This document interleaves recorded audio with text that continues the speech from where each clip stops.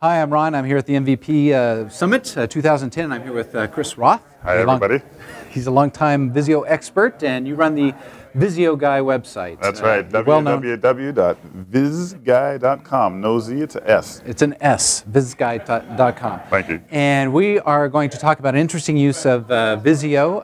Not just flowcharts, not just network diagrams, Scale draw. scaled drawings. they actually came through the website and said, maybe you can help us. You seem to know what you're talking about when it comes to Visio. Uh-huh. And we're actually laying out our cargo, planning how we'll load cargo onto our shipping vessels using Visio. Now, for those of you that think Visio is only for flowcharts or network diagrams, the reason they're able to do this is Visio can actually work in scaled dimensions. So they can actually draw their ship, which is 300 feet long, and draw boxes and circles and balls and things that are two measures, six foot long, five foot five, two meters. They're in Europe, actually. They don't use feet. So they were happy to find this capability out. But the problem was they still had to draw every piece of cargo. They were selling a oil refinery from Germany and delivering it to India, for example. So they had lots of odd bits of cargo that they actually needed to push around on a piece of virtual paper using Visio. They're quite happy with the capabilities that they could work in scale, push things around like we pushed Legos around when we were kids. But they still had to create all of these pieces from their bill of materials listing. They had length, width, and height, and they had it in Excel. Ears perked up. They had Visio, they like it, they've got Excel data.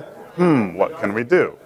So the first part is since I can program Visio, Visio's customizable in so many ways, I won't get into all of them. I was able to read through Excel using VBA code and create two measure shapes automatically for them that they all they had to do is push a button, read in an Excel file, and they had all their cargo shapes drawn to scale and they could just arrange them on the ship deck as they needed.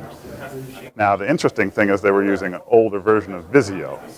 With the newer version, they could have brought the Excel file directly into Visio. I could have built one shape that responded to length, width, and height data, and they could have linked each record in that Excel file automatically to a Visio shape. So just with a few drag and drop operations, they would have had all of that uh, cargo generation done without any code at all. So they saw uh, this cargo dynamically resizing. What was their uh, what was their reaction to your solution? They said it's going to save us hours every day. Thanks, Chris. It's been a great, uh, great talking to you. Uh, you've really inspired me to go have some fun with Visio. Fun. Fun.